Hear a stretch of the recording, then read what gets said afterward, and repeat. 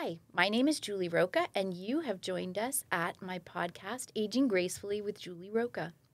As we age, everyone wants to know how do we stay in charge of life? It can feel like life is stepping in and like we lose control. But sometimes people come into our the senior years and they're well prepared. And to see how they enjoy life and life goes a lot more according to their plan, if they have a plan, makes me realize that um, our next guest really was onto something when she wrote her book. Uh, so I had Star Bradbury, the author of Successfully Navigating Your Parents' Senior Years. Come and join us today. Thank so welcome, you. Star. Thank you, Julie. It really is a pleasure to be here. And you, you really touched on um, why I wrote the book, why I wrote the book to begin with. Uh, and the focus of the book is really to help people develop a plan. Uh, I spent 25 years in senior living. Yes. Um, as an administrative director of both an assisted living facility, then a memory care facility, and then 18 years at a life care community. And during that time, I really did help. I, I figured it out, so this is not an exaggeration, but thousands of families. I believe Um, that, yes. Well, you know, 24 years is a long time. Yes. And yeah. during that time, I met with so many families, and it became clear to me that um, people kind of assume um, that they're going to age successfully, Mm-hmm. or I love your term, aging gracefully, uh, Yes. but they don't really have a plan. Right. You know, and I used to joke with people did you plan for retirement? Most people do plan Yes, yeah, for years yes. for retirement, but somehow they think that that planning should stop. And they don't focus on what I'd like to say is might be the last 20 or even 30 years of your life. Yeah, exactly. And you can't just assume it's going to all fall into place, Julie. Exactly. And I love in your book, and, I, and I've now quoted this numerous times, um, that we have the go go times in life, and then we hit a slow go time. Right? And then for almost everyone, there will be a no go time. there will be a no go time. Unless, um, I mean, we all know people, sadly, who may pass away, but did so almost um, right up until the end that you'll hear people say, you know, my dad was playing golf five times a week and my mom was, you know, living life full, and then suddenly they passed away. And many of us say, boy, if I could check that box. Yes, that would be wonderful. That would be that would be wonderful, but uh, Yeah. we don't get that option. Because, like you said, we're all planning for something. Mm-hmm. Right. But most of us are planning for the go go time. Right, for I'm the- planning right. for the travel. I'm Right. planning to, you know, knock things off my bucket list that I And that's didn't all get good. to do while I And you definitely kids. Yeah. should do that. Yes, exactly. But there's more to plan than just that go go time. So I know that you refer to um, some pillars, some Yes, pillars of, of successful aging. I do, and it was hard to narrow it that? down. yes, yes. So, uh, uh, in my book, I talk about the five pillars of aging successfully. And um, I didn't invent these. You'll probably go, "Oh yeah, that's true. I've I've I've got that one covered." But in my experience in sitting down with uh, families and talking with them, usually there's one or two of these pillars that they haven't really thought through. Pillar number one that I think is the most important to start with is where do you want to age? And by that I mean, where do you want to actually, location wise, uh, live the last part of your life? Which, again, now, the fastest growing demographic in the United States today are the ages between 90 and 100. Right. Yes. And so many people just don't even think about, am I going to really live that long? And where might I be living if I'm 80, 85, 90, 95, A hundred. or 100? And we I, have a lot. I know, of I, I have clients, consulting clients, 100. whose um, moms and usually some dads are in their advanced ages, many still living alone, some requiring more help than others. So you the thing is we just don't know. So my mm-hmm. goal is to get people to plan. Pillar number 1, Where do you want to age? And so we already know from the statistics and the research that 90% of all seniors want to age in place. You and I know Yes. aging in place means I want to stay in my home. I do not want to move. I never want to move to um, a community or live in a facility. And many, many people start out with that. That Yes. may or may not wind up to be true. Mm-hmm. But I always say, great, let's sit down and look at how strong your plan is if you say, I'm checking the box for staying in my home and aging in place. Again, people just say that. Yes. And I like to say, uh, that is a statement. That Yes. is not a plan. It's And not. the first question I ask is, how strong is your support team? yep. What who is on your support team? If you tell me, one, I have no children, I'm estranged from my children, my children live in other states, in other countries, then we better look at where is your support team going to come from? Mm-hmm. Do you have people who you know you could call who would take you to the hospital, feed your pets if you were in the hospital, help mm-hmm. you with some of the activities of daily living, mm-hmm. shopping, talking to your doctor, getting you to medical appointments? Yeah. How strong is your support team? And that's one of the first questions I ask. And if you're thinking about moving, I'm thinking about moving closer to my daughter who lives in another state, another city, or I might move closer to my family where I grew up. I've moved away, but I still have lots of family back in Ohio or Michigan Or friends, even. or friends, right. move for their friends. Yes. Yeah. Well, plan years ahead of that need. Go to that city or that community and look at what are the living costs there?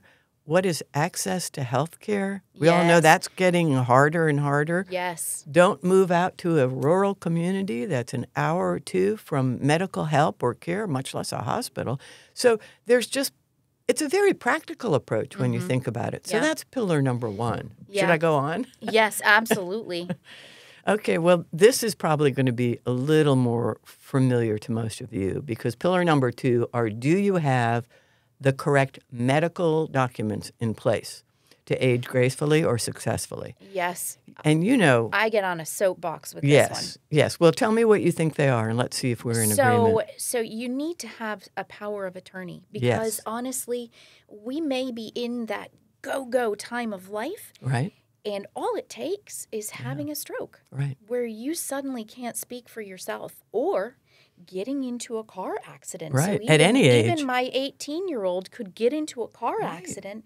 And who is then allowed to speak for them because they're of legal age? Yes. Um, I have heard nightmarish things Oh. about people that do not have that in place.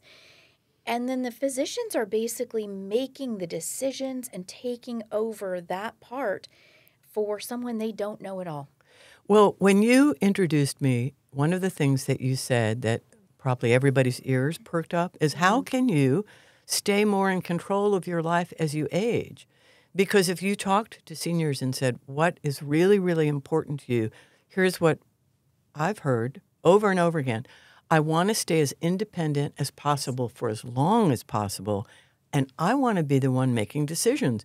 I actually had somebody the other day, actually at church, say, "Why did you write your book for, for you know, navigating your parents' senior years? Why didn't you write it for for us?"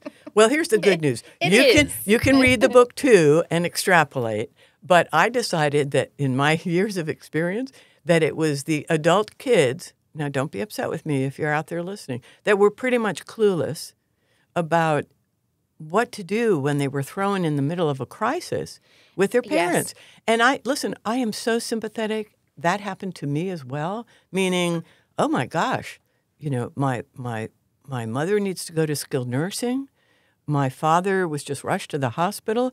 We're all busy leading our lives, working, raising families, and then bam, you're thrown into a crisis. So uh, it's not as if both multi generations can benefit from my book, but I really felt I had somebody plead with me, Star, please write a book for for my generation.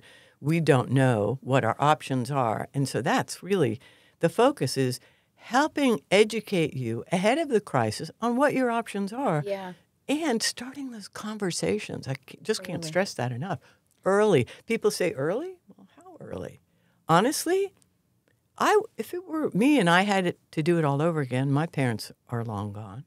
I would have sat down with them when they were in their early 60s, Julie, Yeah, that's and said, "Let's too. let's start these conversations long before the need, because there's no pressure, Exactly. there's no crisis." I think you'll find your parents more willing to to talk about this. Of course, we got a little off topic. Let's get back to the you said power of attorney. power of attorney is one of Mm-hmm. those, and then I also think you need to have you need to have your your will set up. Your, yes, You not just your living know. will. Right. And really, you're talking about pillar number three. And, and they're really, I almost combined them two because pillar number two is medical. And, Yeah. un- and so let's not forget the importance of a living will and appointing a healthcare surrogate. care yes. surrogate And just in case anybody is listening that might say, what's that? Healthcare surrogate, healthcare proxy, healthcare surrogate. This is the person who can, you're trusting Mm-hmm. to make critical medical decisions for you at the end of your life when you may not be able to speak for yourself. or even in that crisis moment, Yes. sometimes people will have had a a crisis like a heart attack or a stroke in Mm-hmm. right. which they can't speak for themselves Right. for eh, maybe days, maybe Right. weeks at Correct. a time. And so you need to make sure that you trust the person that Totally. you are you are assigning this um, to to to know what it is that you want and having these conversations ahead of time so that they do know Mm-hmm. setting aside a living will that says this is what I want. In the case of needing um, equipment to extend my life when I may not be mentally capable of making any decisions for myself ever again, I, I don't want to be left like that. Right. Do you really want to be on a, Yeah. uh, res- resuscitated? Do you really want to be Yeah. uh, um, kept alive beyond a reasonable time where you're no longer functioning or you might not even have any brain function? Mm, right. I think that's yeah. people's biggest fears. And yet, and yet, there's a very high percentage of people, as well you know, who have just keep putting that off. So I can't Yeah, stress enough. yep. Do not put it off. I think you might find the opposite may happen. That once you've actually completed a living will, and of course, choosing a healthcare surrogate means you have had a very intense conversation with that person. For Yes, example, yes. I asked one of my sons, and he said, Absolutely not, Mom. No, there is no way that I Mm-hmm. could ever pull, as he said it, pull the plug on you. I said, Thank you for your honesty, right? Yes, You know, yes. I'd rather know now. Okay. And then all my kids live in other states. I mean, like East Coast, West Coast, Right. Chicago, there's they're not close. And so often you want to choose someone who's actually physically close and could Be get there. to the hospital, be physically with you, um, and also that knows your wishes. Mm-hmm. Remember, they are carrying out your wishes. And having been a healthcare surrogate and having to make some personal tough decisions, um, I always had to remind myself it is not my wishes. Yes. That person asked me to be their healthcare surrogate because they trusted me to carry out Their, their wishes. wishes. Yeah. And So they- it's a big deal, rightfully so. And um, you want to make sure that you've had that conversation. Yep. That person's likely to be around. In other words, if they're 90 now, that's probably not a, a good ask. yes. You know, you want to have somebody that's available, willing, that you trust. So that falls under all the medical, you know, the living will, the healthcare surrogate. Yeah. And then pillar number three is legal, legal and financial Yes. documents. Those are the power of attorney, your will will. Now remember, a living will has to do with end of life decisions, and an actual will has to do with assets Afterlife. you know right when i die this is i want susie to get this piece of jewelry and i want the house to be sold and those assets to be divided as i state in my will i want Mm-hmm. it's your sort of what happens with everything that you have left in the world and, how would you like that gifted or given it could be um, of course a charitable gift Yes. so you never know, but if and people sometimes people say to me, "But I just don't have that much." Uh, Yes, and I hear that regularly. I hear that too, and I go, And "Hmm, well, let's let's talk." Even the little things. Uh, I have seen people lose so much because um, the parent did not put things in a will properly, and then it went into probate for a Mm-hmm, long time, and maybe the loved one that they probably wanted to have Didn't, that I've thing seen that too. they either didn't get it or they got such a small portion of it. Really, it had been ripped apart. Or a free for all Yeah, a free by, fall. by and, family members who may or may not and, have been uh, your your choice. and it can cause It always makes me sad.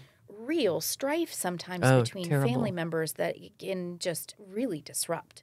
So I, I always say it's a it's a good selfless thing to do to sit down with an attorney and get those documents. It's a done kindness. right? Yeah, It's it and you if you already know that your family is contentious, or you know that only gonna make it sisters worse. don't get along, or um, don't don't leave that confusion behind. Again, I have seen the peace of mind that it can bring a family Yeah, if everybody knows these decisions have been made.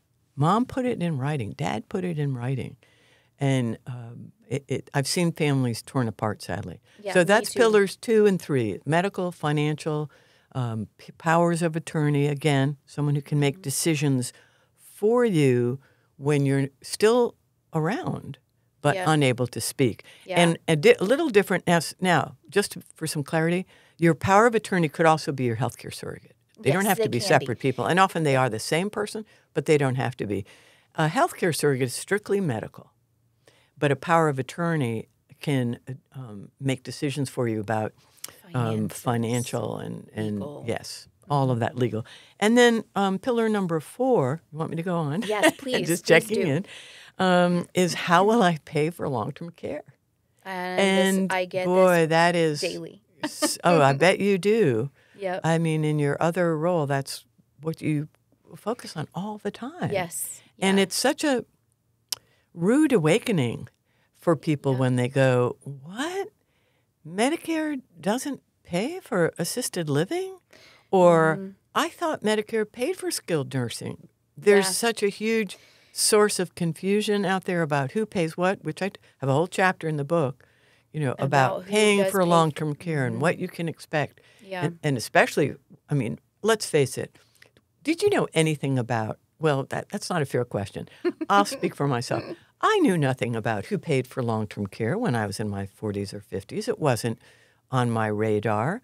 It only Yeah. became on my radar when my parents went into crisis and I was Mm-hmm. trying to figure out, well, who's paying for home care? They need they can't come home from the hospital without some help. I thought Medicare paid for home Oh, yeah. care.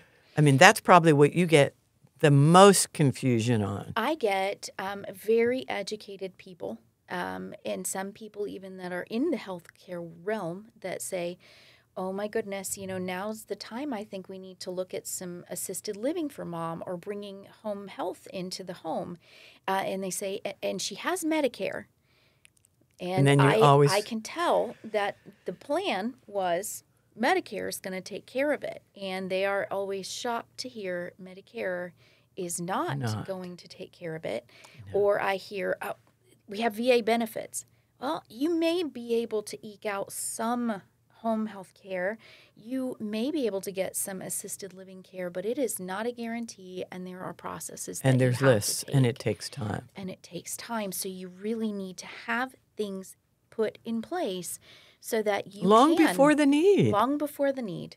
I, I So- tell I tell um, some of my clients, especially um, solo seniors, people who either live far from their Mm-hmm. kids or support team, live alone. You don't have to wait until a crisis to interview a home care agency, and you could even say, "Right now, I don't need any care." But if I fell and I, I or something happened and I did, I'd like to get to know you a little bit. They mm-hmm. would come and talk to mm-hmm. you and do an assessment. You'd at least be enough. on their radars so that when you're calling saying, I just found out I have to have surgery or I had a fall and I'm going to be discharged. And that way, again, staying more in control of your life Mm-hmm. and who's going to provide that care.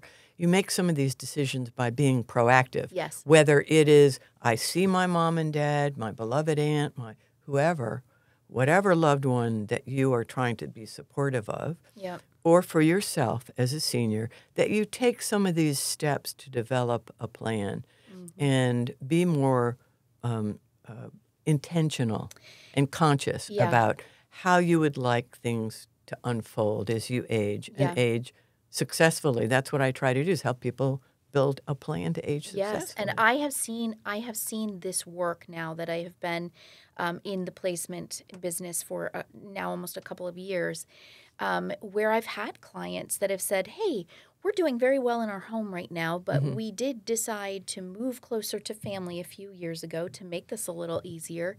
We are seeing that we're having some more um, physical issues happening, and so we wanted to get a plan in place." And we did. We sat down as a family together and discussed what it was that they wanted, what they could afford, where they thought that they might want to go. They set up tours so that they could Exactly. see those Ooh, you get an A plus. And they recently Uh-huh. um, had a an incident that meant that they weren't doing as well in the home, but we knew. We knew exactly What to do. the next steps were supposed to be. So they were ready. Mhm. They got what they Mhm. wanted. Mhm. And it was so much smoother than the calls that I get from frantic children of their parents saying, "Oh my goodness, my, Right. I'm in I'm in North Carolina. My family is in Florida. Dad has fallen. Um, I can't get and there." Mom has dementia. I can't Yes. get there. I don't know what to do." Those are the calls that I really hope that your book helps us Th- this is a this is a primer. My book is a a step by step guide and primer Mm-hmm. yes because it really does cover the basics. Uh, I, I talk to so many people who do not know that there's really a difference between a home health care or home home health care company or agency and home health. yes Okay. And so Yep. they're wasting their time and money calling companies who are happy to take the job, but but maybe you're fine with a home care companion that's half the cost or maybe even a third of the cost of hiring a home care nurse. You don't need a physical therapist. You don't need an occupational therapist. Right. Now, some of those costs will be covered by Medicare after you're Yeah. discharged from the hospital, and there's always contingencies. But Mm-hmm. often, for somebody to stay in their home and get the help that they need, it Yeah. might be a home care companion. Yes. But Julie, I, I just see that um, I promised I promise you when I'm speaking to the adult children now who say, "Oh my God, I just can't add anything to my plate." yeah yeah Taking the time to develop a plan now yeah ahead of a crisis, sitting down with your parents and starting out with very, very gentle questions. I really almost have a, a, a chapter on coaching you how to bring this You do, conversation love up that. Because I've just seen how hard it is. So, what would what kind of question would you start with? Let's say if you think, "Gosh, I just haven't talked to my parents about." Don't jump in and say, "Have you done your will?" Right, Let's no. get that living will done. Don't start No, with that, no. especially if you know it's a sensitive topic already. Yeah. You, I would suggest that you sit down and start with questions like, um, "Have you thought about where you want to live when you retire, Mom and Dad? Are you thinking about staying in Gainesville, or have you considered maybe moving closer to me in Minneapolis? I mean, Uh, just yeah. making that up, of course, but." Very soft, gentle questions. have you thought about your retirement Right. I, mean other than wanting to travel the world Right. tell me Af- about the, the slow go. what yeah right tell me about what your retirement looks like outside of travel Yeah. Uh, those yes. kinds of thoughts and then getting in your book you get very practical um, for example one of the things that a lot of people need to do is they need to look at their bathroom Yes. can you even access your bathroom in your bedroom if your at your bedroom and your bathroom is on the second floor right. and all of a sudden you have problems with your knees or problems with your back. I've seen Or hips. people or Hip surgery. and you can't get to the top of the stairs. you can't really crawl up the stairs. No. Most people don't want to be crawling up the stairs or bumping on their butt all Yeah, the way down yeah. to the bottom. Right. So, how are you going to navigate that? And I love that you addressed even those kinds of things that people just don't always think about. No. But and it's I, part I of know. making that I, plan. I had a client who uh, lived in a like a three story house. All bedrooms and bathrooms are upstairs, and she just didn't want to really think about it, and her kids didn't want to say. So they brought me in to sit and say, "Yeah, I'm a little concerned um, with you being in a wheelchair, uh, sadly indefinitely. How are you Right. going to negotiate?" Because she said, "I just want to go home. I just want to go home." Well, you know, as hard as it may be to accept, um, I I really feel that the seniors that open their perspective and open their minds a little bit to realize that staying in your home, aging in place, may or may not allow you to remain as independent as possible Yes. for the longest possible time. It may not give you the freedom that you think you have. Correct. I recently went to the home of a client, and um, she was there with a companion, with a home care companion, and I realized in the visit that she struggled to get out of her chair and up the one step to the downstairs bathroom. And in looking around, I had noticed that there was a bed in the mm-hmm. dining room, and she had a second story. And I said, "What's upstairs?" Upstairs. All her bedrooms Right. her bedrooms Right. and the second bath, which she had not been upstairs in two and a half or three Oh, years. Star. So who knew what was upstairs? So we were then talking about, you know, downsizing. She's like, I, I don't even know what I have upstairs anymore because she had not been up there in years. But that's entirely believable, and I've certainly seen it It is. happen. And so, for example, you see that your parents are saying, We're going to age in place.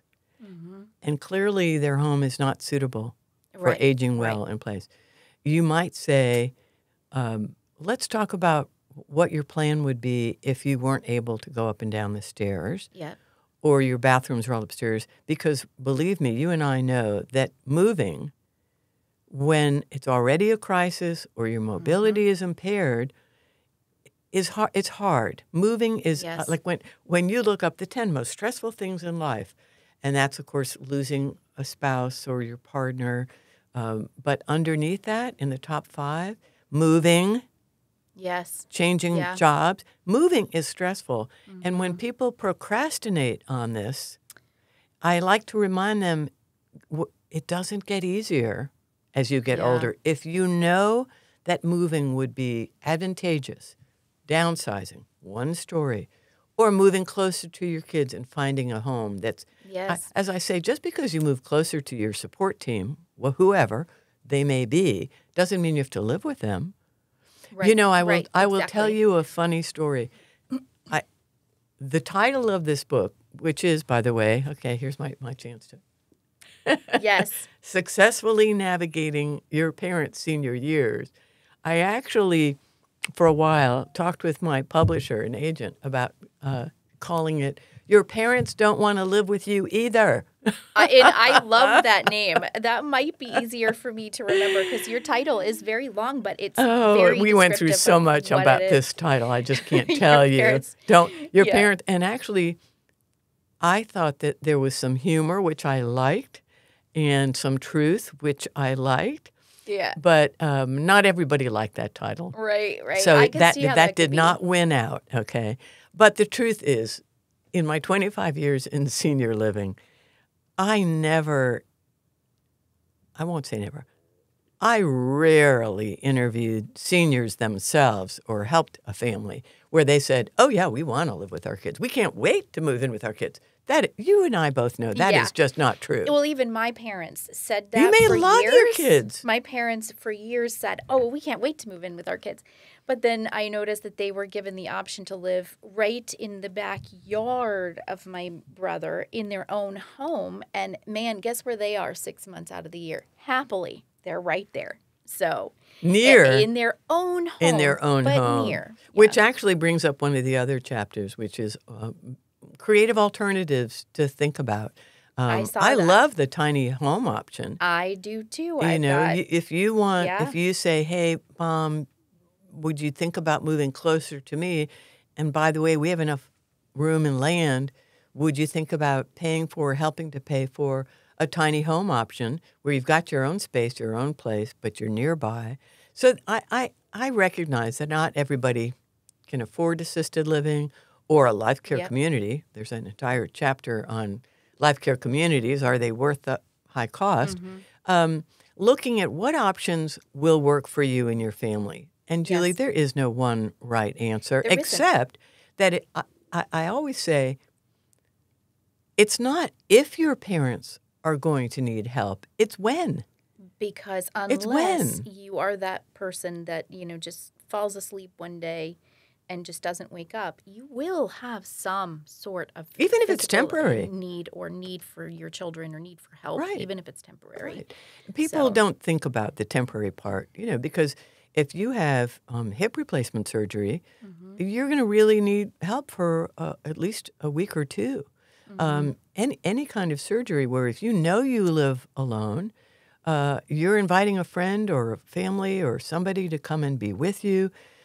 But there's no reason not to have a plan in place, whether it's yeah planned surgery or unplanned fall or an event, like you said, and recognizing that um, procrastinating or avoiding all of this yes uh, is not a proactive approach where that lets you make the decisions and and stay in I've- control. I've noticed in my work with Alzheimer's and dementia that sometimes when you're Mm-hmm. starting to notice um, memory changes, if you procrastinate and you Ooh. put it off, you may get yourself to a point where your loved one can no longer think rationally like you and I are.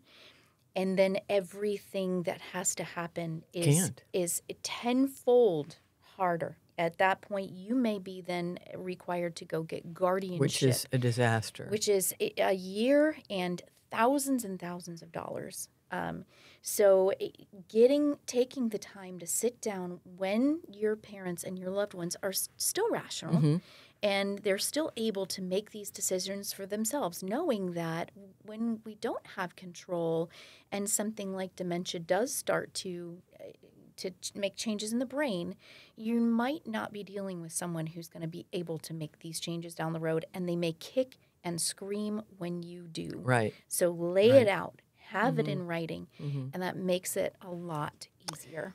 Just last um, Sunday, uh, actually at church, uh, someone I don't know came up and uh, she found out that I'd written this book, and she said, "Oh well, maybe you can help me. I'm so upset. I'm just so angry." And she clearly was. My children are trying to tell me, you know, what to do, and they think I have Alzheimer's, and I don't think I do. I, I am forgetful. I am writing post-it notes all over the house, but there's nothing the matter with me. I'm fine, and they're trying to tell me what to do. That is not the time as a Not. child that you are going to want to try to sit down with someone who's already fearful, angry, um, and it's not as if you couldn't have noticed that Right. something is going on. And I will tell you if, and there's a chapter on long distance caregiving, because what happens is um, if you don't live close to your parents and you're only seeing them once a year, pick up on right, and you're just talking to them on the phone, believe me, people become adept at masking their Mm-hmm. memory loss. And unless you are there for two, three, four days and really looking for some of the red flags that we know about that I list Yep. for possible dementia or something going on, you don't want to wait till then. You want to have these conversations long before that because if you went to any elder law attorney, they would say this whatever you do, do not embark on a guardianship unless you have time, money, Yes. patience. They will try to advise on every possible option besides guardianship. And yet, a good attorney, any attorney, is not going to allow somebody who clearly has cognitive issues, serious cognitive issues, to sign legal Yes. documents. and make life altering And then- Yep. You've lost any chance of managing what's already a difficult situation It in a way that so really is to is to your parents' advantage. And I warn uh, the adult children: you're not you're not making a plan for your parents.